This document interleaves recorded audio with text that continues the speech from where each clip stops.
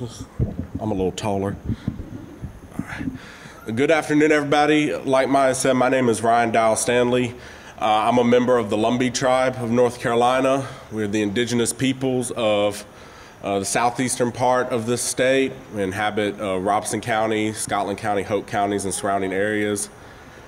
And just a little bit about myself. Uh, I'm actually a student here at Carolina in the uh, School of Medicine. I'm a, a first year student in the Division of Clinical Laboratory Science. I also work as a laboratory technician at the UNC Cystic Fibrosis Center and their tissue culture procurement and cell culture core. So I get a lot of science every day. I enjoy it.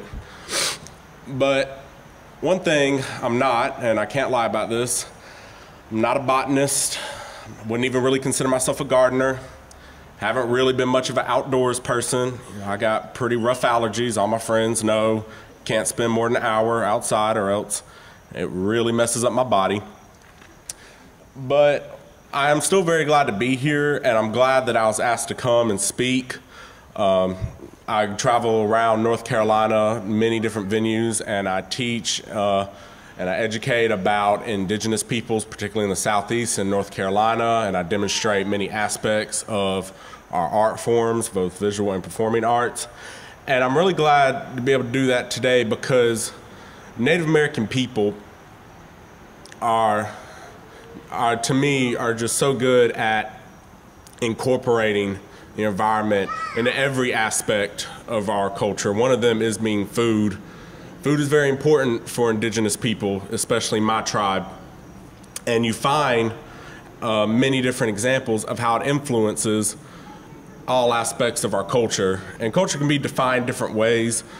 I like to think of it as different parts. And just to give a few examples of how the environment and food play into that, one part is economics. So, in the past, pre contact, Native people would have very large scale farms sometimes, unfortunately, you see images of native people and they're sort of tending to gardens and, you know, uh, you know, some family gardens. But in reality, that's not necessarily true, especially here in the southeast and the east coast. Native people were huge agriculturalists, and some of the earliest signs of domesticated plants were here in the eastern part of the United States. And there was a lot of people in a tribe who were very have very specific skills and were very good at what they did. One being farming, and even today, you know, culture doesn't change the way people think it does. It's very hard to really lose aspects of your culture. It transforms and it gets influences by other cultures, but that doesn't make it any less authentic. So even today, my people are still farmers. If you actually go into top of Lenoir and as you're coming down the escalator from the dining hall, it has a map of different farms that um, uh, CDS gets food products from. Does anybody know what I'm talking about? Or is that just me? A little bit. If you'll notice, two of those farms are located in Clinton, North Carolina. And what one, some people don't know about Clinton is it is actually home to another tribe of indigenous people, the Coharie people. And they have been there for hundreds of years in that one area. And a lot of people don't know this for sure, but I bet a good bit of money that a lot of people working on those farms are Coharie, uh, people from the Coharie tribe. And you know, I come from a long line of farmers. I think I was a little disappointed when they find out how allergic I am to pretty much everything outside. So, I hate to disappoint. But in our economics, it's such a big part. Uh, native tribes, they wouldn't just grow things like corn and beans just for themselves. They'd actually specifically have um, sections that they would grow to trade with other tribes. And in return, we would get different tools and things that aren't indigenous here. So, food and agriculture is what made us more connected a long time ago. Before we had things like Facebook and phones, which I can say are great assets.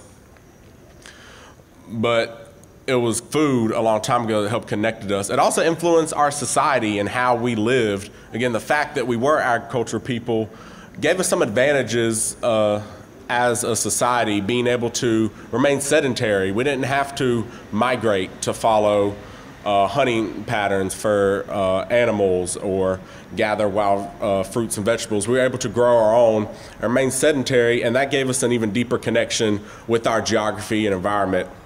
Another way you see food and agriculture is in art, both visual and performing. If any of y'all like to see afterwards, I actually have flowers tattooed on my body, if that gives any idea about how important and uh, the environment and geography is to me. You see floral designs in paintings and potteries and throughout most of our art forms. It's actually a key identifier for a lot of other tribes. When you see those floral patterns, it's instantly recognizable as being Eastern indigenous people. And another example is our religion and our ceremonies. We actually have things like a strawberry ceremony for the Iroquois people, harvest ceremonies, green corn ceremonies, because that just again shows how vital our agriculture and food was to the sustainability of my people for many years.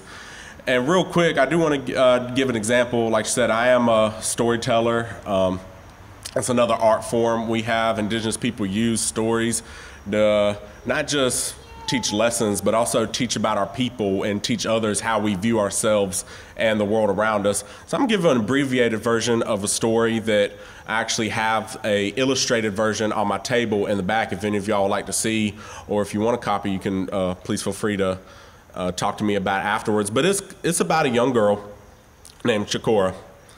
And she was from a tribe in the southeast and part of North Carolina in this folk tale. And it actually talks about our corn and the different kinds of corn we had. And it's a folk tale that has been sort of passed around this uh, the southern part of North Carolina, and it kind of tells a story about how we got these different types of corn. Uh, a lot of our corn that we have, um, and again, I actually have examples uh, at my table, is the solid red kind of corn. We also have this white kind of corn. It was grown by the Iroquois, Algonquin, Siouan peoples all over the southeast. And it was, like I said, it was grown a lot. And there were actually separate stories just about corn. And it was very important. Again, it's what got us through the winters. It's what gave us economic benefits with other tribes. It was very important and it was harvested, you know, on very strict cycles and a lot of our uh, technological innovations revolved around our agriculture and how do we get better at it. And one day there was this little girl, Shakur, and like many people her age, you know, a lot of people were taught how to farm and different skills at young ages, and many people were multidisciplined and learned a lot of different skills. So Shakur was this young girl who was farming, and one day she noticed something different about our corn. It wasn't just red anymore. It was actually this multicolored kind, which I have examples of up top. It had yellows and whites and reds and black, and it was integrated all throughout this corn. And as you would assume, this didn't really go so well with uh, their tribe. Again, they had gotten so used to this all red corn. Again, it had been a part of their stories and their ceremonies. And then out of nowhere, this corn just changed colors. So Chakor and the different people, uh, at first nobody would believe her. You know, they told her, oh, it was a bad strain. Somebody must have done something wrong. You know, they didn't really say it was a big deal. And then eventually all of the corn started looking like that. And then people got worried. They're actually afraid to eat it, which is a natural reaction when you're so used to this one type. Well, then they started uh, posting scouts to try to figure out what was wrong with this corn.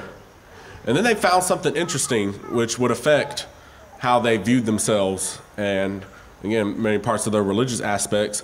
They found these little people, and in uh, the Cheraw language, they're called Yahashri. And you actually find examples of these little people, Yahashris, in many different tribes. The Cherokees have a version, and many other tribes in the southeast. And what the Yahashri would do is they actually would go in the middle of the night and they would paint each individual kernel. The Yahashri are known for being tricksters and playing tricks on different tribal people and they would travel and be mischievous. So they would actually take the time to paint all these different ears of corn get them multicolored. And even it's amazing to see how these ideas have spread through generations because a lot of older people in my tribe, like my great grandparents and uh, great great grandparents, they might not have known this particular folk tale. It might not have been common knowledge, but some of the ideas were there. A lot of people actually still did have superstitions about the little people, and it was a common practice a long time ago to sweep footprints off dirt yards. A lot of homes, even in the 1800s, early 1900s, it was common to sweep footprints because the Yahashri, um, you didn't want them to know uh, whose kids lived there. If your kids were walking around, you would sweep up the footprints so they didn't know who lived there. So that's an that's just an example I wanted to give, and again, that's a very abbreviated version. The whole book is up top on my table, but that's just a version of how you find food integrating itself and uh, different aspects of my people's culture.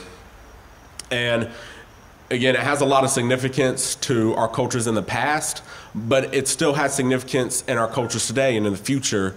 You know, I live here in North um, in Chapel Hill, but my tribe and my family resides in Robeson County, and for some of those who don't know where that is, that's about two hours away from here, and about 95% of my family still lives in Robeson or surrounding counties. So it's easy to feel a little left out, and even my two roommates in my apartment in Carrboro are Lumbee too. And it's very hard for Indian people to leave their communities. I mean, we're, we're people who are so used to being part of these large families with very integral kinship ties and community ties, and it's hard to leave. So, one way that we help feel connected to our people and to our home is through food my like my I said one of my favorite hobbies is to cook, and one of my favorite things to cook are the things that my grandmother and my grandfather taught me, and I still do that today. Just the other day, me and my roommates we wanted to have a big meal, and there's actually multiple Lumbee people who live in my same apartment complex, and every so often we'll cook these big meals that we would have in Robeson County, and we would all come over and enjoy them. And it literally feels like we're back in Robeson County at our grandparents' house and that's just a very important part of who we are is being able to connect to our families and to our cultures and our histories even though we're here in chapel hill and predominantly uh, caucasian african american communities you know sometimes we go and we don't even see native people for you know for days uh, you know i've had many classes at chapel hill where i'm the only native american person sitting in a lecture hall especially being a science major I do not get to see a lot of Native people in my field and in my academic setting. But it's important for me, and it's how I thrive here at Carolina, how I've been thriving for the past three years, to know that I can do something like go back to my apartment with my Lumbee friends and roommates and still cook the same meals that I have with my family. So that's just a little bit, again, why I want to say why I'm here. And I hope you kind of remember these for our next speakers and for this whole program to show just how important food and environment and agriculture and our geography is to all kinds of peoples with all kinds of cultures. Thank you.